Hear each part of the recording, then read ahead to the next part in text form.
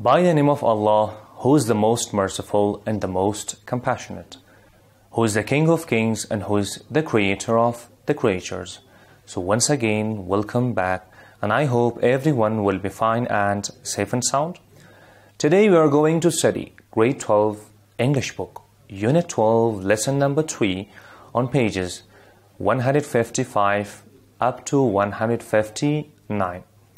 د لوی څښتن تعالی په نامه څوک چې بخښونکی او پوره رحم لرونکی دی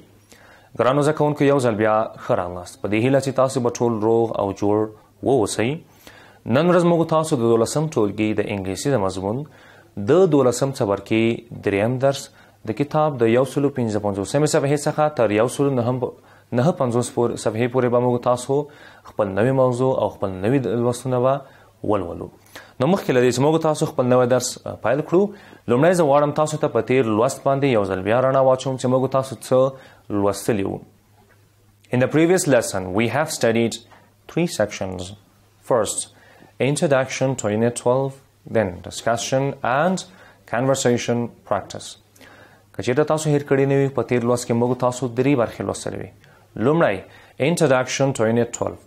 د دولسم څپرکي سره موږ تاسو یو څه معرفت درلود چې یعنی موږ تاسو به د په دولسم څپرکي کې کوم موضوعات او نوي درسونه لولو د دې ترڅنګ موږ تاسو یو ډیسکشن درلود یو بحث مو درلود یو څه پوښتنې وي چې هغه موږ تاسو په ټولګي کې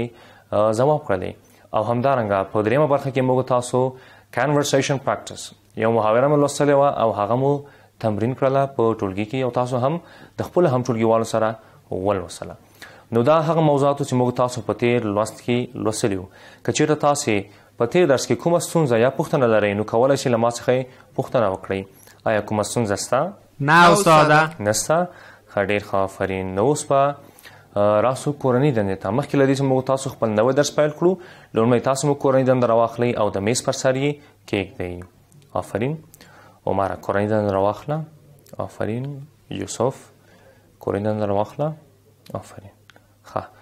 تیر درس په اړه خو کومه ستونزه نه وي ان شاء الله نسه پښتنه نسه ښه ډیر ښه نو اوس براسو خپل نوی درس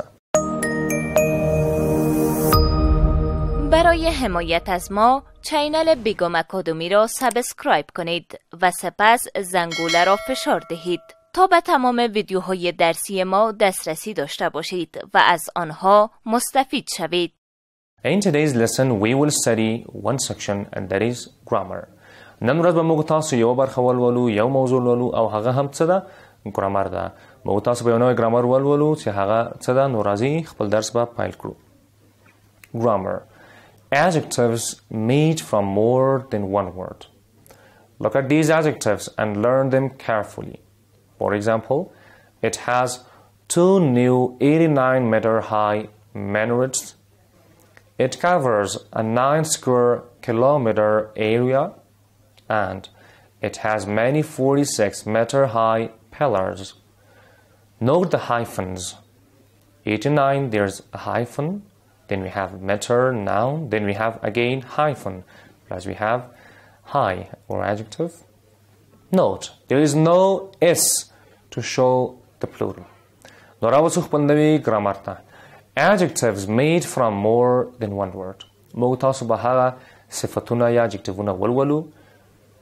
موږ تاسو به هغه صفتونه ولولو چې هغه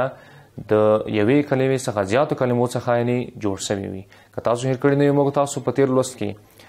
لوستلی هم وو چې موږ تاسو ځینې صفاتونه لوستلی وو اوس زموږ تاسو نوې موضوع دا ده چې څنګه له یو څو لغتونو څخه موږ تاسو یو صفت جوړ کړو Look at these adjectives and learn them carefully و دې لاندې صفتونو ته وګورئ او په دقت سره او په پاملرنې سره یې زده کړئ It has two new 89 meter high manors. ګورئ په دې جمله کې adjective چی دی 89 meter high دغه اوس یو صفت سو خو دغه صفت تاسو کتل شي له دریو کلمو څخه جوړ شوی ده لومړی 89 د 89 څخه وروسته کوم علامه چې تاسو وینئ هغه ته هایفن ویل کیږي د هایفن څخه وروسته نوم میټر د یو نوم دی اسم دی د هغه څخه وروسته بیا هایفن راغلی او په اخر کې سره راغلی ده های صفت نو دغه درې کلمې سره یو ځای کېږي موږ تاسو ته یو صفت جوړوي لاندې وګورئ It covers a 9 square kilometer area ګورئ په دې جمله کې صفت څه دی 9 square kilometer لومړی نه راغلی 9 بیا هایفن بیا سکوير بیا هایفن بیا څه راغلی کیلومتر نو دا یو څو کلمې سره یو ځای سولې او موږ ته یو صفت جوړ کړ راځو درېمه جملې ته It has many 46 meter high pillars ګورې په دې جمله کې تاسو اډجکټیو لیدلی شئ چې هغه 45 بیا هایفن ورکړل شوی ده د هغه څخه وروسته میټر د میټر څخه وروسته بیا هایفن او د هایفن څخه وروسته های نو دا تقریبا وګورئ درې کلمې یا درې لغتونه تقریبا سره یو ځای کیږي او موږ تاسو ته یو صفت جوړوي ګورئ 8 and 9 پلس د اجنان نه ورسره چې راغله د هایفن د علامه ته هایفن ول کیږي دا تاسو باید ذکرئ د هایفن څخه ورسره چې راغله میټر میټر یو مفرد نوم دی نو دیر از نو اس ټو شو د پلورل په د نمونه کې موږ تاسو اس ورکولای نشو یعنی میټرز نشو ویلای د میټر څخه ورسره بیا هایفن ورکړی او هغه څخه ورسره بل لغت راغلی هغه څه دی های دا موضوع په لري چې په دې صفتونو کې تاسو دغه نوم ته اس ورکولای نه سئ نو دا زموږ تاسو نوې موضوع وه راځو مخکې ځو Here are some more examples. Uh, لاندې موږ تاسو یو څو نور uh, مثالونه راکړي غوږ ورته ونیسئ. Aten Afghani not. ګورئ Aten Afghani ګوره تن او د تن څخه وروسته هایفن راغلی د هایفن څخه وروسته شی راغلی افغاني ګوره موږ اوس دغه uh, هغه صفت چې یو څو کلمو څخه جوړ شوی دی بل ته وګورئ هی از ا 13 year old boy ګورئ په دې جمله کې اډجکټیو څه دی 13 year old ګورئ لومړی 13 سو د 13 څخه وروسته هایفن راغلی دا د هایفن څخه وروسته year راغلی دا خو مګم په یاد لري مخکې موږ تاسو ولوسته چې د دې نوم په اخر کې اس ورکولای نسو د ایر څخه وروسته بیا هایفن راغلی او په اخر کې څه راغلی اولډ راغلی نو دا تقریبا درې کلمې سره یو ځای سولې او موږ تاسو ته یو صفت جوړ کړ The Kaaba is a 13.8 meter high building ګوري د جمله کې هم سره غلای دا 13.8 meter high دا یو صفات څو چې د څو کلمو یا د څو لغتونو څخه رامنځته شوی دی لومړی 13 د هغه څخه وروسته 13.8 او د هغه څخه وروسته هایفن د هایفن څخه وروسته میټر بیا هایفن او په آخر کې څه راغلی ده های راغلی ده نو دا هغه صفتونه دي چې له څو کلمو څخه جوړ شوي دي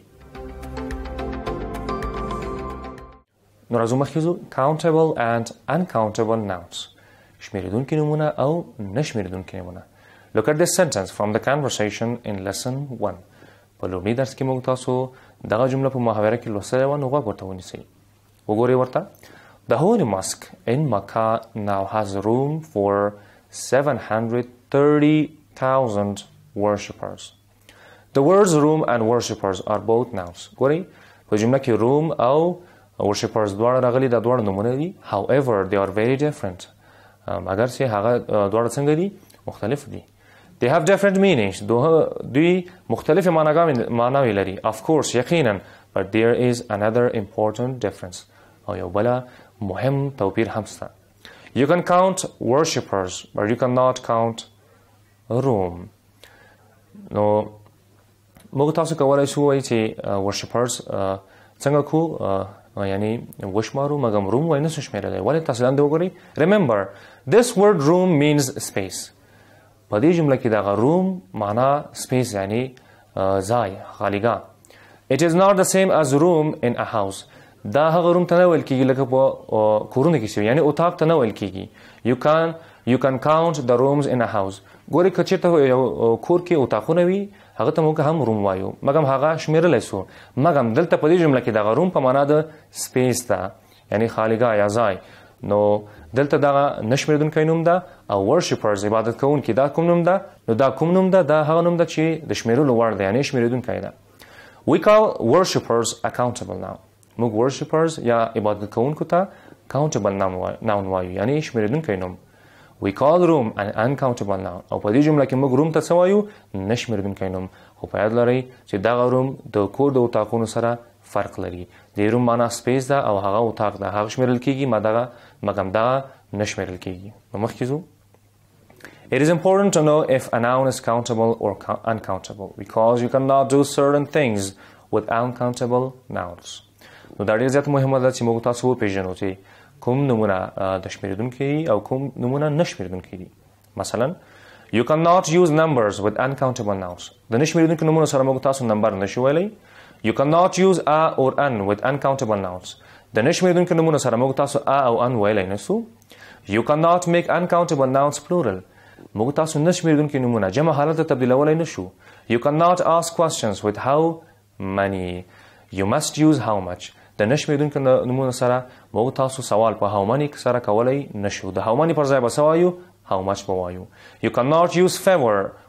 اور د فیوسټ یو ماسټ یوز لیس اور د لیسټ مو تاسو د نشمیرونکو نمونه سره فیور او د فیوسټ ویلای نسو د دې پر ځای به لیس او د لیسټ ووایو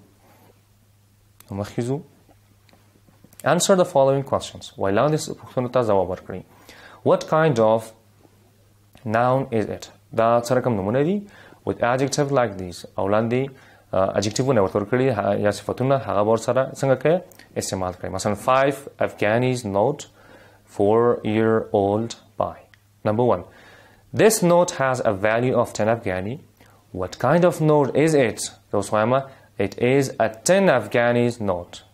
Number two, that boy is 13 years old. How old is the boy? He is a 13 year old. نو دغه متباقی جملې به تاسو ځان سره ولولئ. نو مخکې ځو تر لسمې جملې تقریبا لس جملې دي دا به ټولې تاسو ځان سره لولئ صحیح ده او پوښتنې ته به ځواب ورکړئ ځواب به څنګه ورکوئ هغه جکټیو به ورسره وایي چې هغه د څو کلمو څخه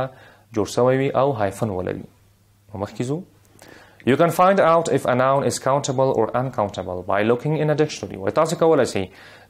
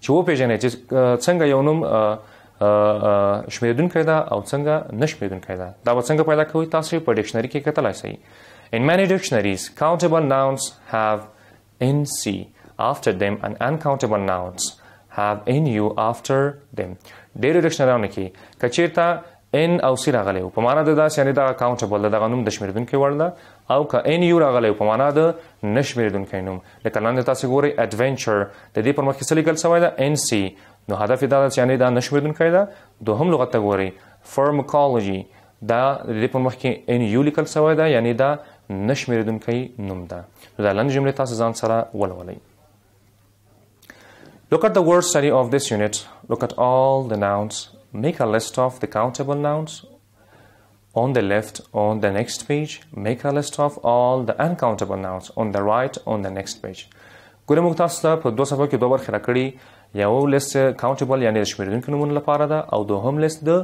نه شمیردونکو نمونو لپاره ده تاسو په همده درس کې څومره لغتونه چې موږ تاسو لوستي دي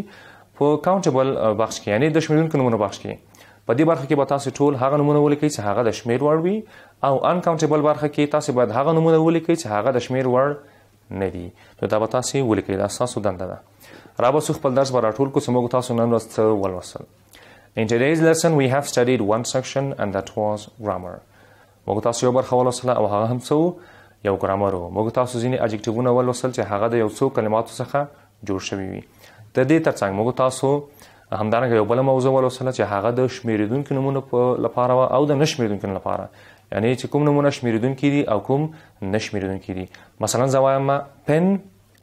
پنز، قلم، قلمونه، نو د شمېر وړ دي، خو موږ تاسو داسې نه شو ویلی چې مثلا واټر، واټرز، واټر نه شمېرېدونکی نوم ده، نو موږ تاسو مخکې ولوستل چې نه شمېرېدونکي نومونه موږ تاسو جمع حالت ته تبدیلولی نسو نو دا هغه موضوعات چې نن ورځ موږ تاسو ولوستل که چیرته تاسو کومه پوښتنه یا ستونزه لرئ نو تاسو کولای شئ له ما څخه یې پوښتنه وکړئ آیا کومه پوښتنه یا ستونزه سته نه استاده ښه ډېر ښه آفرین نو را وسو کورندنده ته What are the countable and uncountable nouns؟ دا ستاسو کورندنده ده و شمیرېدونکي نمونه او نه شمیرېدونکي نمونه څه دي ګورئ شمیرېدونکي نمونه هغه شمیر نمونه دي چې هغه د شمیر وړ وي او نه شمیرېدونکي نمونه هغه نمونه دي چې هغه د شمیر وړ نه دي نو تاسو به دغه پوښتنې ته په انګلیسي کې به ځواب ورته لیکئ او تشریحات به ورکوئ همدارنګه مثالونو کې به یې هم وکاروئ سو وش یو آل د بیسټ هاف ا نایس ټایم نو ښه وخت ولرئ ښه ورځ قبل از آغاز درس بعدی وقفه کوتاه میگیریم.